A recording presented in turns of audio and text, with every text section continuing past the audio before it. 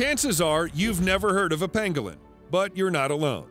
This cute and curious animal is among the strangest mammals. You're watching the channel Top 10 World, and for today's video, we'll talk about pangolin, the most badass animal you've never heard of. Pangolins are endangered animals, so knowing more about them can help keep them safe. They're pretty interesting creatures that are basically a real-life Sandshrew from Pokemon. Pangolins are a scary mammal, known cuddlers, and they're pretty clumsy even if they're just trying to walk.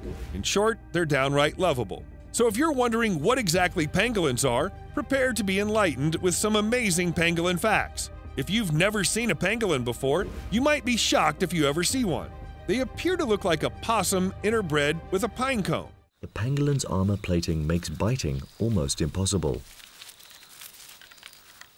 Or like something straight off of a Pokemon card. The fact is, their appearance is incredibly unique because they're the only mammal with scales in the world. Armadillos come close, but they're not truly a scaled animal. Pangolins come in eight different species spanning many different countries. Pangolins are warm blooded mammals found in Africa and parts of Asia. There are eight different species of pangolins, with some preferring to hang out more in trees and others on the ground. Pangolins look like heavily armored yet strangely anxious anteaters. They often walk on their hind legs, holding their big front claws in front of them. Despite the claws, pangolins are gentle, only eating ants and termites. They don't even have teeth. They can be as small as a house cat or as big as a medium sized dog. One thing they all have in common is that they have hard scales all over their bodies. These scales aren't just for looks either. The edges of these are razor sharp, and if the animal is bitten or grabbed hastily, the scales can actually cut skin and cause real damage. Unfortunately, this is the only real defense the pangolin has against predators.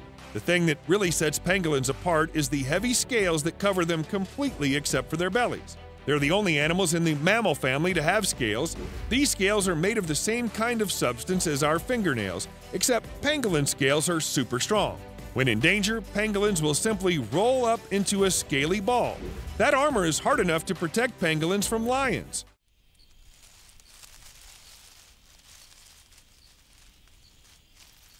Baby pangolins are born with soft scales that begin to harden a few days after being born.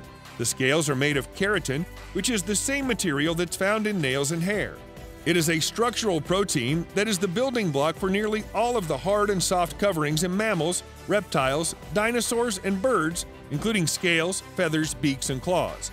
How a particular animal uses keratin to cover itself depends on what worked best, evolutionarily speaking, for its ancestors. It's not that the pangolin never lost the traits of a reptilian ancestor, Rather, it's that the pangolin had furry ancestors.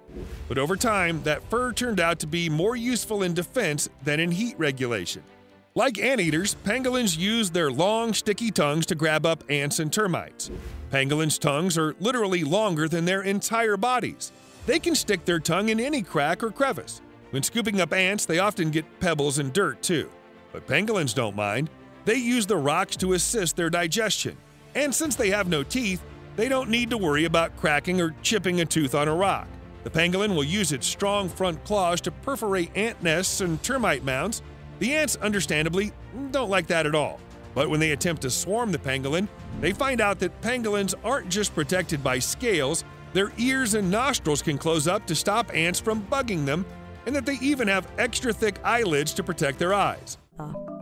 Found throughout Asia and Africa, pangolins can be traced back 66 million years. Their eyes are small, and thus they conserve energy by not spending it on organs they don't need.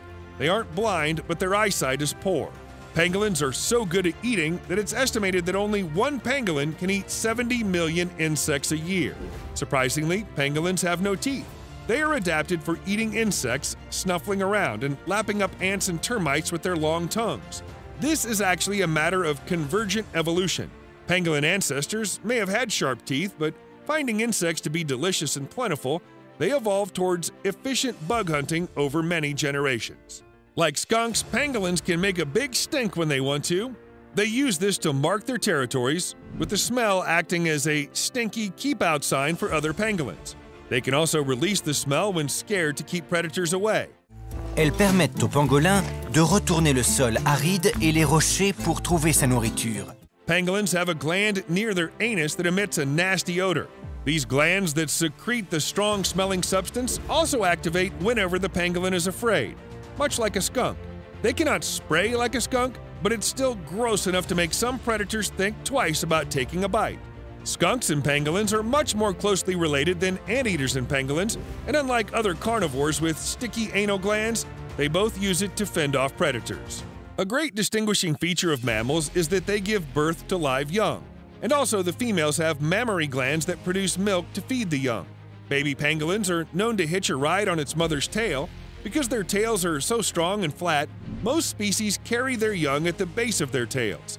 This keeps the baby shielded from anything which may harm them on the ground and surrounds them with sharp scales because the baby won't have fully developed their own yet.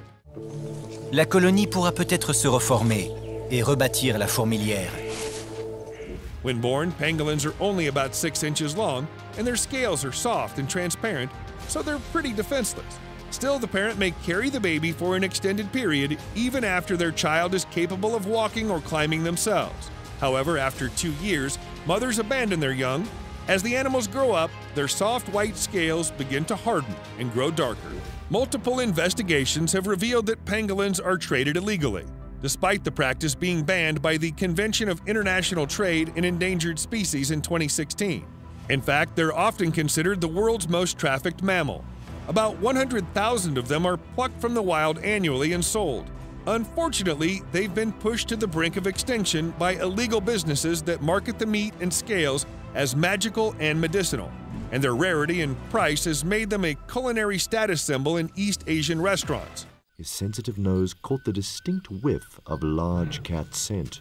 This could mean trouble. This high value has created a black market where pangolins are cruelly poached from their natural environments of Africa and Asia to the point that every one of the eight types of pangolin are currently listed as critically endangered.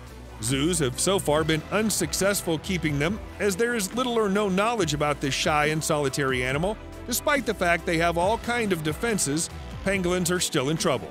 Their natural habitats are shrinking, and they're often hunted by humans.